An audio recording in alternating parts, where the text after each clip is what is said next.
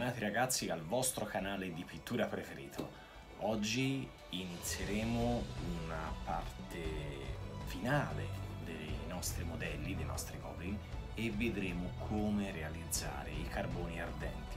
Uno di questi omini ha dietro le spalle una sorta di, eh, di braciere, una sorta di braciere dove un piccolo funghetto è lì a arrostire e vedremo come realizzare questa tipologia qui di effetto con semplici passaggi. Ovviamente questa eh, tecnica la potete poi riportare su eh, tutta la parte di fuoco, di carboni ardenti, legno, tutto quello che potrebbe essere eventualmente qualcosa di eh, effetto bruciato.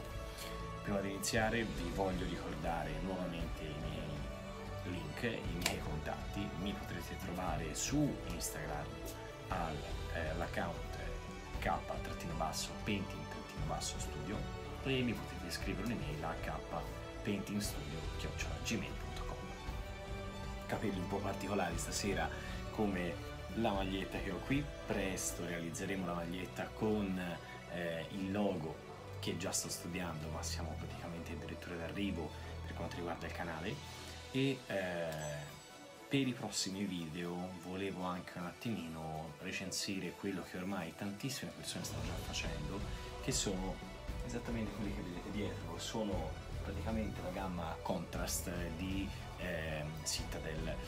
Mi hanno invitato a un piccolo contest a Firenze dove eh, faremo appunto un test su questi nuovi modelli di colori per chi magari deve dipingere grandi armate in poco tempo, ma probabilmente riusciremo anche a tirar fuori qualche bel effetto anche da un, una tipologia di colori che in realtà viene utilizzata esclusivamente per le grandi armate e quindi per chi ha velo- bisogno di velocità sulla pittura.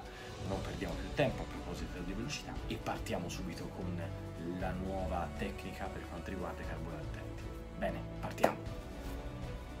Allora ragazzi, per realizzare i carboni avremo bisogno di tonalità ovviamente sull'arancione e sul rosso. Piccolissimi colpi di luce sul, eh, sul colore giallo ma davvero pochi. Quindi cosa andremo a utilizzare? Andremo a utilizzare eh, per prima cosa come colore di base per così dire un eh, orange red gamma eh, Vallejo model color quanto riguarda i punti più chiari andiamo a utilizzare questo light orange sempre eh, gamma model color Vallejo. E per quanto riguarda invece le zone leggermente più eh, scure andremo a realizzare eh, i miei tonalità di ombra con un flat red normalissimo. Ma trucco dei trucchi un pochino di flat brown. Poi vedremo come fare la tecnica da utilizzare è più o meno la stessa che abbiamo visto nello scorso video per quanto riguardava la arma di lava del mio Lord del Caos. Lord del Caos che verrà ultimato a breve perché siamo addirittura d'arrivo finalmente. Quindi partiamo subito e vediamo come stendere il colore di base, arancione, come fare e dove poi ritoccare con il marrone. Bene, partiamo.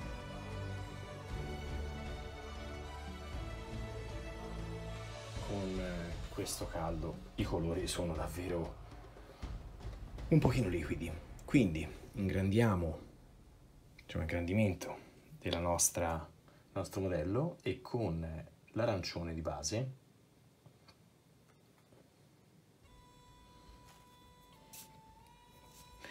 Andremo a dipingere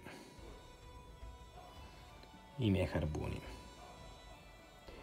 cercate di dipingere in maniera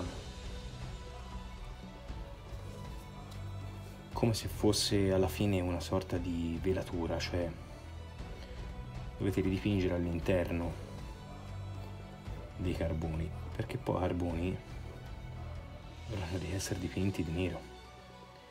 Quindi tra le fessure sì, il carbone tutto no.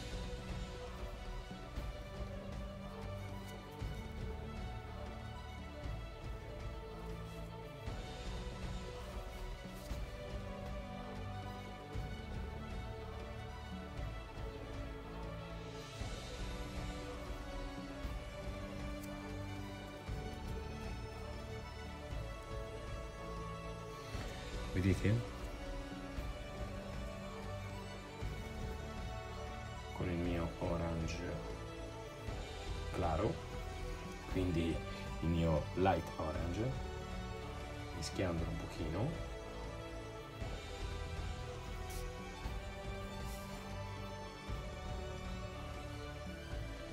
Andrò a smorzare in alcune zone un capellino di piuma. Davvero poco, una tecnica abbastanza veloce.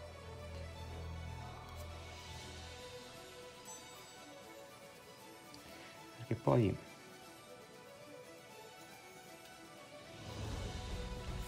quando poi andrete a ritoccare con il nero lì è la differenza.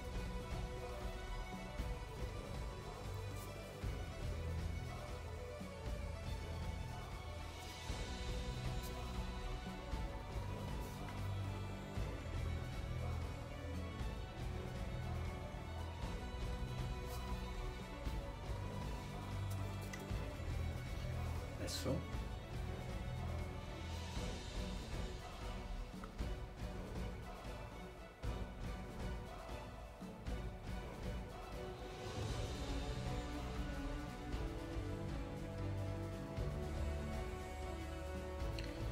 Utilizzando il rosso e il mio arancione di base vado in alcune zone che reputo leggermente più scure a dare un pochino di colore.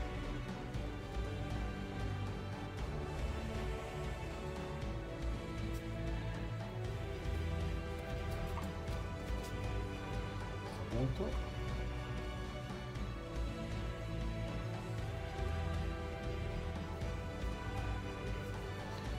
posso con il colore ancora più scuro iniziare a colorare il carbone.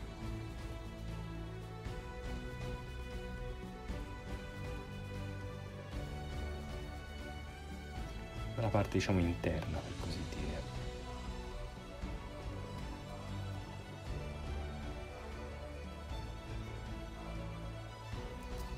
Il vero passaggio arriverà dopo con il nero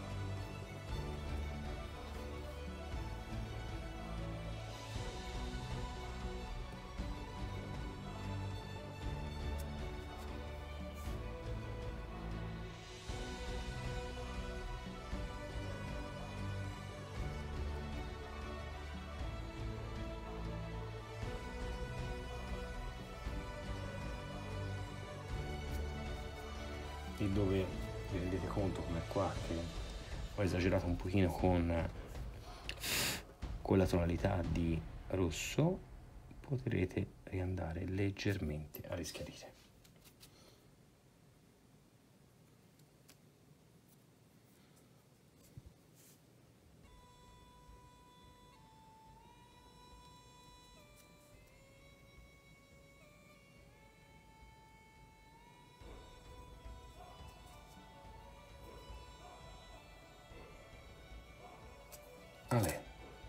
ci fermiamo.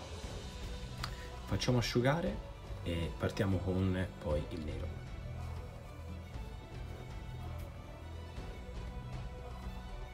Ok, il modello si è asciutto, io qui ho steso il mio nero e con il colore con la tipologia di durezza pari alla base, quindi abbastanza duro, andrò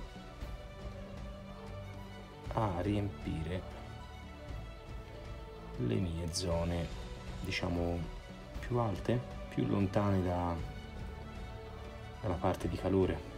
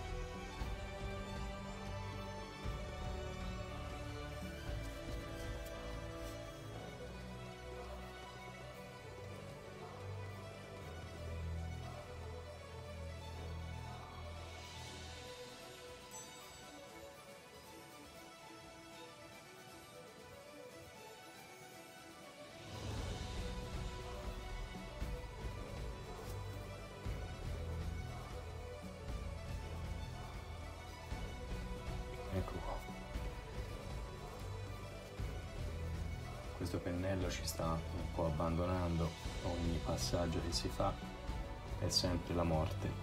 Beh piccola parentesi pennelli c'è chi preferisce pulirli con delle sostanze che puliscono il pennello. Beh io vi posso assicurare che ne ho comprate decine di questi prodotti ma nessuno mi ha mai rigenerato il pennello quindi dopo tre o quattro modelli che fate purtroppo questi pennelli vanno presi e buttati via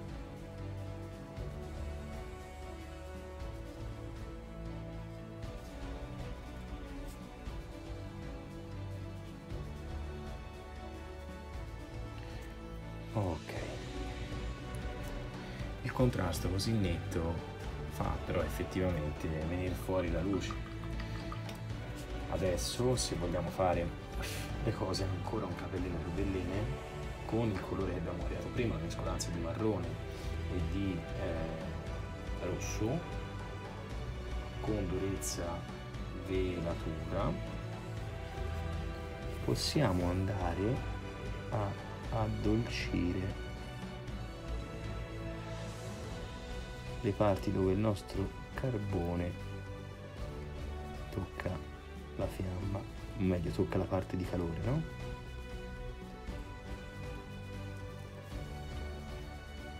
e smorzerà un pochino di più il nostro effetto finale.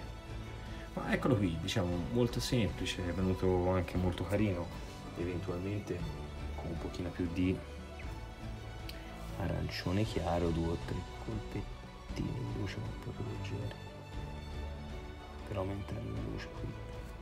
Ma senza esagerare perché altrimenti l'effetto finale è diverso. Bene. Eh, ragazzi, questa tecnica è molto veloce, molto carina e molto bella alla fine perché con pochi semplici passaggi riusciamo a creare un bel effetto finale. Ovviamente lo potete ricreare anche lì dove ci sono fuochi, dove c'è eh, eventualmente bruciature. Comunque questo è l'effetto lava, chiamiamolo così. Bene. Ragazzi, io concludo qui questo video, velocissimo, strano ma vero. Vi ringrazio per aver visto il video e vi invito a lasciare un like se vi è piaciuto, un commento se avete consigli o domande e iscrivervi al canale per vedere anche poi tutti gli altri video che ci sono e ricordate ovviamente di fleggare la campanellina almeno tutte le volte che metterò un nuovo video vi arriverà la notifica.